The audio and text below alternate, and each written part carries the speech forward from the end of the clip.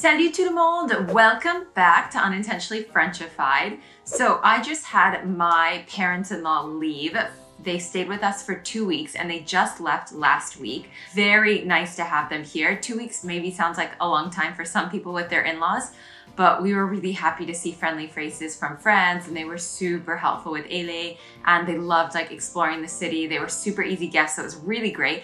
And it was also very fun to see their culture shocks and their first impressions of Montreal and all of the things that surprised them when they got here. I would say that the phrase that a common language doesn't mean a common culture felt very true when I was like discovering Canada from their eyes because there are some things that are very similar with North America. So it becomes less of a culture shock for me, whereas they really got like the full on like Canadian experience for the first time. So it's really fun, but I'm gonna talk to you about the four biggest culture shocks that they experienced when they first came here for their two weeks. So if you have not subscribed to the channel, this is the time to do it. Hit the subscribe button and otherwise, c'est parti.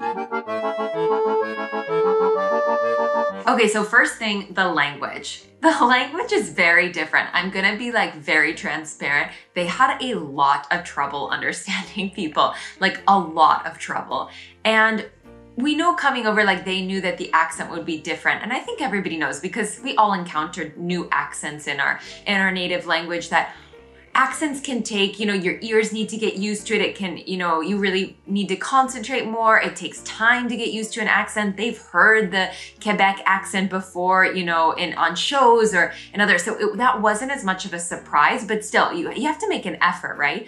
But then on top of that, there are a lot of phrases and a lot of vocabulary words that they're not used to. And a lot of that has anglicisms in it. And there's a lot of English words that are dropped into Quebec when you're speaking French. And my, you take my father-in-law, for example, who doesn't hear well, like really doesn't hear well, and speaks no English. So then on top of it, it's a very different accent and very different words. And like they really struggled to understand. And I could understand this culture shock in some ways because when I moved to Scotland, I like sometimes I felt frustrated because I'm speaking my native language and the person in front of me is speaking their native language and we're technically speaking the same language, but like I'm not understanding. and I don't know if the like I've not been here long enough, right, to know is it as hard for people from Quebec to understand French from France as hard as sometimes it is on the other like side like do they get i don't know is there more of an influx of like french music and french cinema coming from france and so therefore they're quite used to hearing that accent or or the different vocabulary I mean, like, I'm thinking of someone like Celine Dion that's like Canadian, super well known, sings in French. When she sings in French, like, I don't hear like a really thick Quebec accent and I, I didn't like the vocabulary didn't surprise me. So I'm just wondering if this is only like when the French from France come over that it takes like time or if you also have that going the other way. I don't know, but I'm sure in the comments you guys can tell me because some of you guys must have done it the opposite way, like growing up here in Quebec and then moving to France. So I don't know, but honestly, I think that was something that really surprised them was just like the lack of not understanding, but like everyone was speaking French. Before I jump into my next point, I want to recommend Lingoda if you are looking for online language learning from anywhere in the world. They will help you dive into learning a new culture, a new accent, a new language, a new way of doing things without having to move.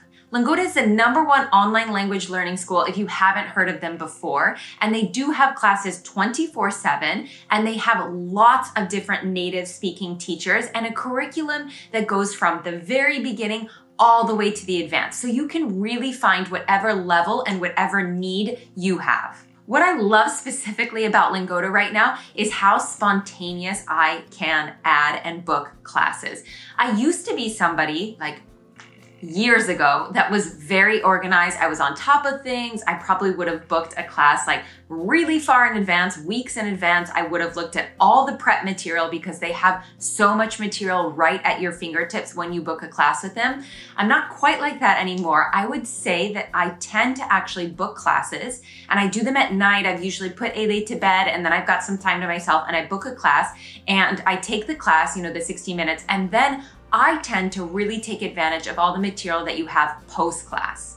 So that follow-up material that has like quizzes and exercises and flashcards, that tends to really help me drill in a concept after I've taken a class. Plus, you can always cater your class to not just your schedule and what works for you from home, but also to what kind of teacher you want and what their profile is and what you're looking for.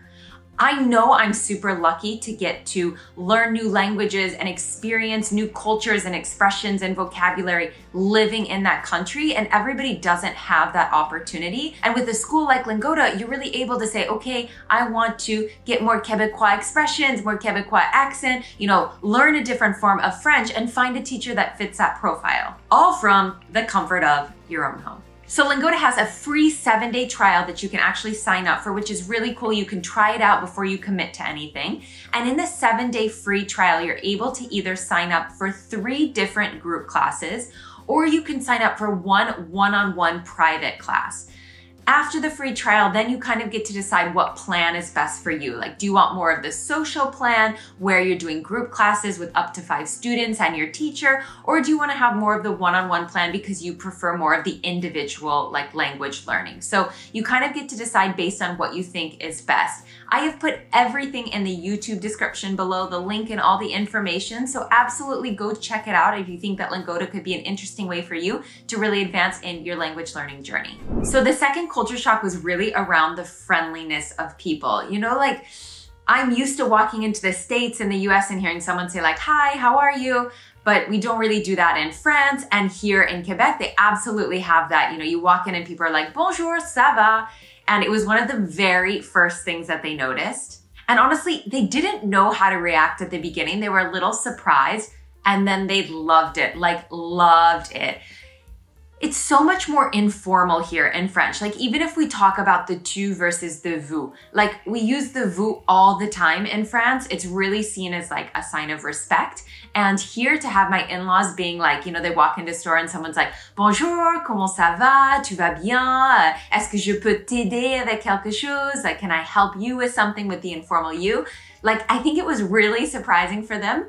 And I think really fun at the end. You know, it's my like husband's parents. So obviously they're, they're older and it means that the vous is used pretty often with them because they get it because you know from strangers and you get it when you're showing a sign of respect and then you also get it because when people are younger than you they tend to vous you so the older you get the more you have vous so anyways they thought that was so fun and of course there was also a lot of like just random, not random, but like strangers having a conversation with you, just being interested in you and talking to you. We were at like Mont Tremblant and we were doing, I'm sure you guys all know, like the very probably typical, like they pour hot maple syrup on snow and then you stick like a little, what is that, like popsicle stick and you roll it up and then you like lick the maple syrup. Eleanor loved that. And they did it as well. And the guy next to us, who was also doing it at the same time, just like started chatting to us, asking how we were, what we were there for. Oh, well, you know, I've been living uh, in Canada, you know, I grew up in Canada. This is where I'm living. And he was just kind of explaining his life and telling us like fun things to do. And I don't know, it was like a four minute conversation and then he left, like no big deal.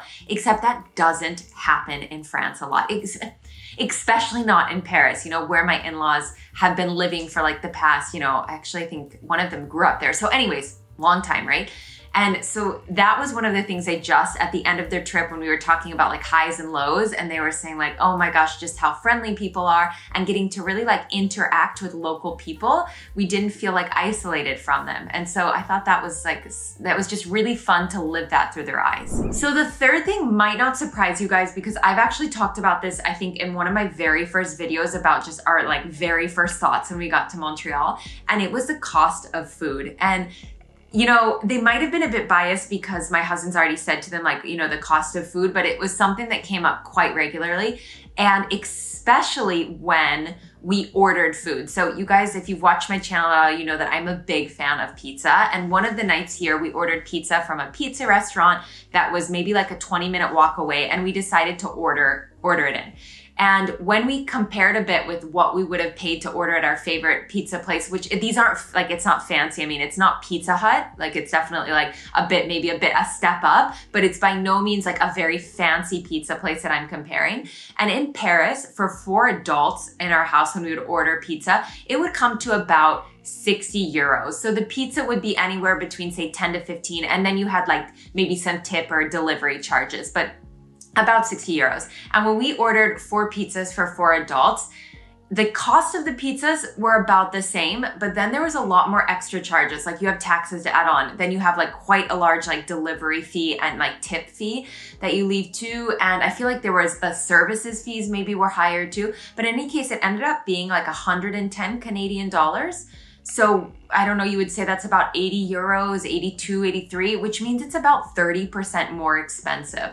Um, I think, yeah, I think we shouldn't have assumed, you know, you make assumptions before you come, but Paris is a big city and buying food in Paris is already so much more expensive than the rest of France that when we move to Montreal or when someone visits maybe from Paris to Montreal, they're visiting a big city. So you would, you kind of expected prices to be similar, which you should never assume or expect, but, and it's not. Um, it's a lot more expensive here. And as we're getting settled in, we've definitely found the grocery stores that are like more affordable. We have like a Provigo right by our house. Wow. I mean, it seems like a luxury grocery store in terms of in terms of price. I feel like that would be shopping at like the Bio Monoprix, like right next to our house. So expensive.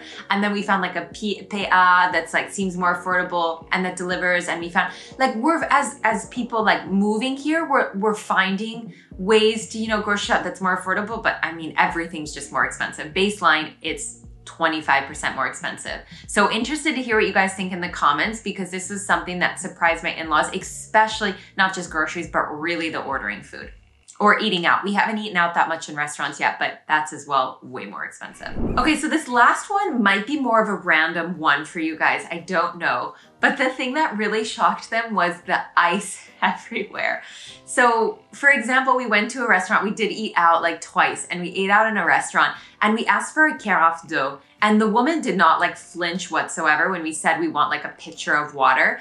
But what she brought back, this isn't about ice, but she brought back in like what looked like a pitcher for beer, which made me laugh. I mean, it totally functional, but it was just funny because in France, it's not quite in like a beer pitcher. They have like, you know, their special water pitchers, but Anyways, we weren't in like a fancy restaurant or anything, but it came in a beer pitcher. And then she brought separate glasses with ice full to the top. Like they were brimming with ice. You you couldn't fit, you know, it's one of those glasses where you pour in a bit of water, but then you have like all the ice, a bit like when people serve you really expensive cocktails and it's like full of ice. Like, I mean, that's how the glass was. And my mother-in-law was a bit like, even when she has an option of taking ice, she says no, like she's not used to having ice. So that happened where I was like, okay, this is like very North American with the ice. But then we were staying in a hotel when we went to Mont Tremblant, and I asked my mother-in-law, like, where are, um, where's the trash can?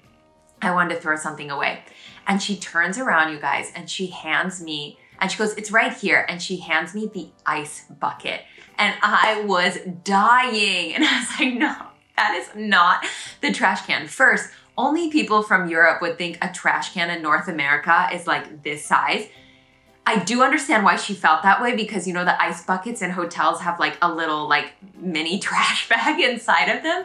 But still, like, I mean, it didn't even occur to her that there would be an ice machine or that like why would people need an ice bucket like in a hotel room. She was oblivious to it and we were both dying when i explained. So i think all of these little like instances with ice um, the fact that our refrigerator has an ice machine and i was like oh would you like ice in your water? It's just like not something that people do um, in Europe. And so it was something she noticed a lot when she was here and commented a couple of times. Okay, so that's a wrap on the things that they were the most surprised about. The four things. I have a lot of things, honestly, that they made comments about. They were surprised that maybe wouldn't be something that would shock me because I grew up in North America, but for them was really different. So let me know if you liked the video in the comments and I will totally do a second version of this one. Um, don't forget about Lingoda. If you guys are interested in language learning, if you think, you know, the seven day trial, what do you have to lose? Sign up. I put everything in the YouTube description below. And otherwise, I will see everybody next week. La semaine prochaine. Lots of bisous.